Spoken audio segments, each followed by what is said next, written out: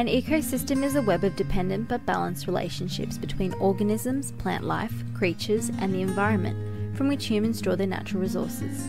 If one part of the ecosystem falls out of balance, the ecosystem becomes unsustainable. Sustainable consumption is the consumption of a product or service that has the least impact on the environment in order to preserve the Earth's natural resources for future generations.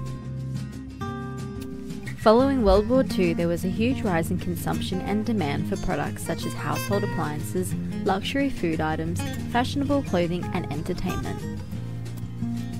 However, many were created with a planned obsolescence, which has led to a throwaway culture.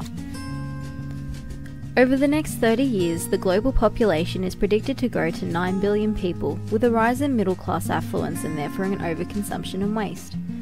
The Earth's ecosystem's ability to generate renewable resources will be exceeded by our consumption habits by 170%.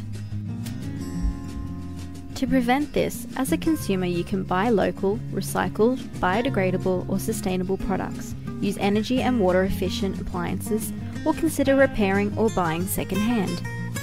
As a young designer, you can help when you create new products and innovations by considering how every aspect from manufacturing to material sourcing to product shipping will impact on the environment. You should also aim to create products that can be recycled, are biodegradable, durable, and have a long product life. By following these ideas, you'll be helping make consumer habits sustainable.